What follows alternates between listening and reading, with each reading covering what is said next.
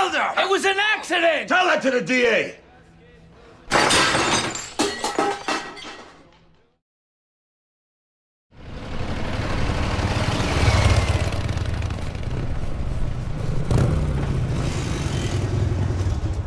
What the hell's going on? I thought I told you to split. Yeah, we tried. Shit. Yeah, that ain't it.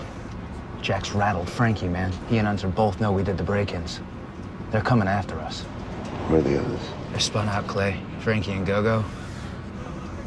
They're talking about killing Unser. Clay, what are we gonna do? You gonna put on your masks? You gonna break in?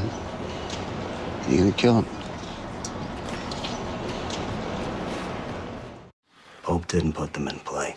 He wasn't sure about the Niners. He's looking into it. We're throwing Pope a lot of trust. It ain't trust, man. It's fear. I'm looking for the. Uh... So you a Reb deserter? No. You a Yankee.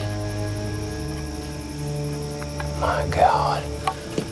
I can get a reward for you. Gold. Real gold. Heads up!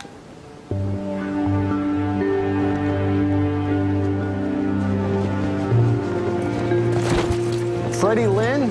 Hey, you guys must be NCIS. You mind grabbing me my other half? Thank you. Are you good? Thanks. All right. Sorry I'm late. Headwinds. I would explain the noise when I called. Well, I got tired of hearing what I couldn't do and figured I'd give people some other reason to stare, so started a skydiving company. So you were a former paratrooper? No, no, no, but uh, jumping sounded fun, and turns out you don't need legs to fall or to turn a nice profit. Well, we're investigating a batch of defective armor that may have been sold illegally. Where'd your vest come from? Well, it's been two years. Do we do we have to go down that road, sir? For the sake of the others, let's be sure, huh? It was a gift from my mother. And I don't have any reason to ask her where it came from, and I'm not about to now.